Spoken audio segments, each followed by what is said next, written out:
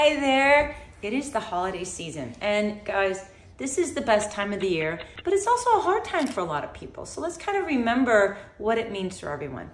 The reason I'm bringing this up is if you've ever worked with me up at Fit Farm or Rock Springs Retreat Center, I do a lot of the life coaching.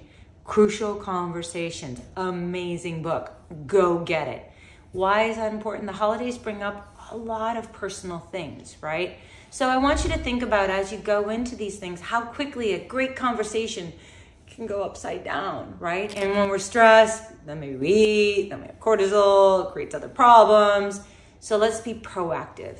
Crucial conversations, right? Know you're in one when you're in it, right? Heightened emotions, differences of opinions, and high stakes. High stakes means a relationship can go bad, right? Argument with your kids, maybe with your, your in-laws, with your significant other. Let's avoid all that.